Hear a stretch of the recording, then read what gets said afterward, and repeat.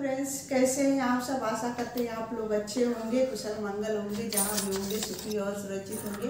तो फ्रेंड्स आज बृहस्पतिवार है और 26 जनवरी और बसंत पंचमी का आपको बहुत ढेर सारे शुभकामनाएँ। आज है बसंत पंचमी और 26 जनवरी, दोनों एक ही दिन पड़ रहा है। मतलब बहुत जैसे छुट्टी वगैरह कहीं लोगों का तो एक ही दिन में दो छुट्टियाँ एक ही दिन में निपट गई तो आज है छब्बीस जनवरी और पंद्रह क्या बोलते हैं बसंत पंचमी।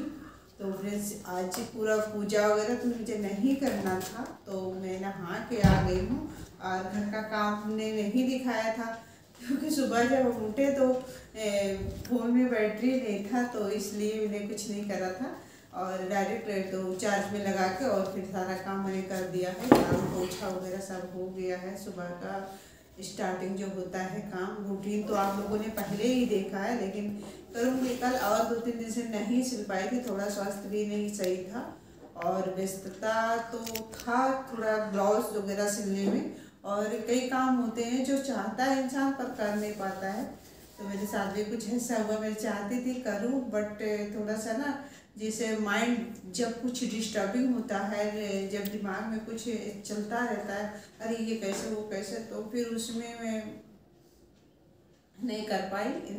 तो यही था, इसी रीजन से मैं दो तीन दिन से कोई ब्लॉग मेरा नहीं बना था।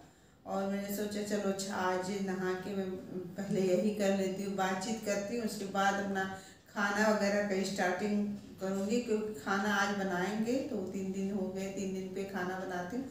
तो खाना तो आज बनाएँगे ही, लेकिन पहले सोचा चलो बात कर लेते हैं। तो फ्रेंड्स, आज का यही है। कहा शुभकामनाएँ दे दें आप लोगों को, छब्बीस जनवरी बसंत पंचमी का, और आज सारे त्यौहार अब यहीं से मतलब समाप्त हो रहे हैं। और अब कौन सा बड़ा त्योहारों में कौन, शिवरात्रि और होली। होली के बाद से तो बहुत सारे त्यौहार नहीं होता होते हैं, बड़े त्योहारों में कुछ नहीं बचता है तो यही था। आज का तो इस माह में, माघ माह में तो यही लास्ट था, बसंत पंचमी तो सो आज है। और इस बार जैसे माह जो है ना, पीछे चल रहा है। फरवरी में, छब्बीस जनवरी जनवरी में पड़ जा रहा था। मतलब छब्बीस जनवरी आज हुआ।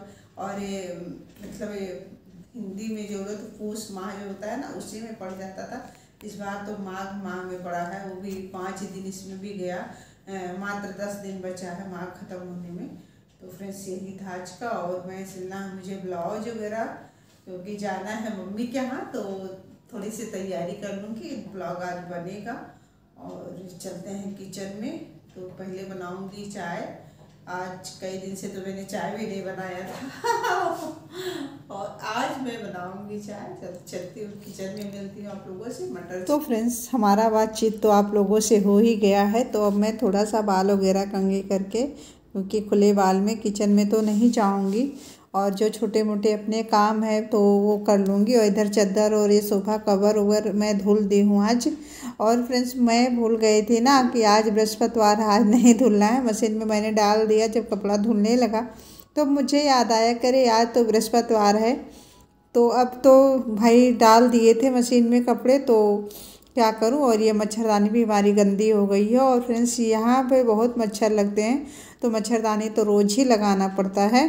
तो ये भी एक बड़ा काम रहता है कि मतलब उठो मच्छरदानी लगाओ। तो ये लेट से उठते हैं तो मैं मच्छरदानी बाद में खोल रही हूँ और थोड़ा बिस्तर वगैरह ठीक करूँगी। उसके बाद कपड़े जो है अपना सुखाने धुलना है, सुखाना है। और ज़्यादा पूजा नहीं करना होता तो ऐसा लगता है सुबह कितना लंबा हो रहा है, काम कम हो जाते हैं। ज़्यादा, जब तक काम करना उतना देर तो पूजा में ही लग जाता है घंटों। तो ज़्यादा लगता है और अम्मा अभी पूजा पाठ ही कर रही हैं, तब तक मैं अपना ये छोटा मोटा काम जो है बिस्तर वगैरह मैं ठीक कर लूँगी। और फ्रेंड्स, अलमारी वगैरह मेरे बिखरी पड़ी है क्योंकि मेरा चक्कर है सिलाई का तो मैं सिलाई करने में बहुत बिज़ी हो गई हूँ। कई दिनों से तो मैंने कोई व्लॉग भी नहीं शूट किया था क्योंकि मैं सिलाई कंप्लीट करना चाहती हूँ तो मशीन से मैंने कपड़े निकाल दिए हैं जो पहले डाले थे और दोबारा मैं कपड़े डाल दे रही हूँ मशीन में। जब तक चाय वो बनाऊँगी, फिर कपड़े हो जाएँगे, उसके बाद मैं एक साथ ही सुखा आऊँगी बार बार छत पर नहीं जाऊँगी। तो मैं बनाऊँगी चाय फ्रेंड्स और चाय बना के, भाई पी के, उस कपड़े सुखा के, फिर मैं करूँगी सिलाई। तो आज कई दिन हो गया था ना कोई ब्लॉग नहीं बन पाया था तो मैंने सोचा चलो आज बनाती हूँ। और कब तक इग्नोर करूँ क्योंकि कपड़े सिलना है जाना था मायके जाने की धुन सवार है तो उसकी तैयारियाँ कर रही हूँ। तो वहाँ पे लंबा जाता है तो लंबा व्यवस्था भी करना पड़ता है कपड़ों का। तो अब चल हैं फ्रेंड्स छत पे कपड़े सुखाने के लिए। तो चल रहे हैं फ्रेंड्स छत पे कपड़े सुखाने के लिए। और पूरा बाल्टी भरी हुई है कपड़ों से। दिक्कत तो थोड़ा हो जा रहा है, लेकिन चलते हैं, सुखा के आते हैं सारे कपड़े। और सीढ़ियों पे मैं आप लोगों को पहली बार ही लेके आई हूँ। तो आ गए हैं छत पे। तो लॉक खोल तो फ्रेंड्स यहाँ पे मैं सुखा रही हूँ कपड़े और कई दिनों के कपड़े मेरे रस्सी पे लटके हुए हैं कि मैं बता रही हूँ ना सिलाई के चक्कर में मैं कोई भी काम नहीं कर रही हूँ फालतू। तो ये हमारे कपड़े देखिए सूख गए हैं कई दिनों बाद मैं सुखा रही हूँ कपड़े और जो कपड़े मेरे सूख गए हैं ना मैं यहाँ अंदर रस्सी पे ही लटका देती हूँ। और कौन धुले बार बार और इधर अम्मा सब्ज़ी बना दी हैं और अपना खाना अम्मा खा ली हैं अब मैं बनाऊँगी सबके लिए रोटियाँ। सब कौन है? तीन लोग हैं हम। तो अब रोटी बना के सबको खाना खिला दूँगी और उसके बाद थोड़ा जो साफ़ सफ़ाई है उसको करके, साफ़ सफ़ाई में तो नहीं इग्नोर कर सकते, ये तो करना ही है। बट ये है कि भाई कपड़ा धुला है, प्रेस नहीं है तो कोई बात नहीं, बाद में कर दूँगी। पर ये जो साफ़ सफ़ाई की है, झाड़ू पोछा, बर्तन वगैरह, ये तो मतलब कंटिन्यू करना ही रहता है। इसको कोई इग्नोर नहीं कर सकता, अभी कोई देर देर भी नहीं करता। तो हमारा खाना वगैरह हो गया, सबने खा लिया, और किचन भी क्लीन हो गई है। बस थोड़ा सा मैं झाड़ू कर दूँगी क्योंकि किचन ही गंदे होते हैं। बाकी घर तो एक बार साफ़ सफ़ाई कर दो, पड़ा रहता है। तो मैं किचन की थोड़ा झाड़ू आँगन में और किचन में लगा दूँगी वॉशिंग मशीन के सामने से गंदा हो जाता है यहीं पर बाकी घर तो साफ़ है, कहीं नहीं लगाएँगे, अब शाम को ही लगेगा झाड़ू। और हमारा सारा सुबह का काम कंप्लीट हो गया है, मिलते हैं शाम को। तो फ्रेंड्स, शाम हो गए हैं और शाम को बज रहे हैं छः ये सब्ज़ियाँ आ गई हैं मार्केट से।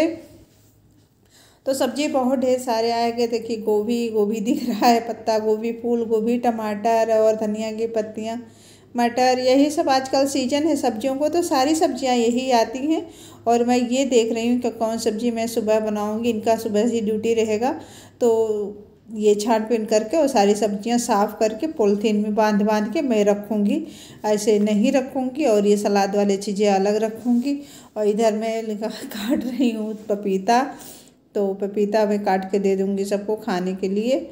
और चाय तो पहले बहुत देर पहले आज पी लिए थे सब तो पपीता दे देती हूँ। शाम लंबा हो रहा है, आजकल थोड़ा दिन बड़ा होने लगा है। तो ये पपीता काट के दे के उसके बाद में थोड़ा साग है तो साग में पालक बनाऊँगी आज।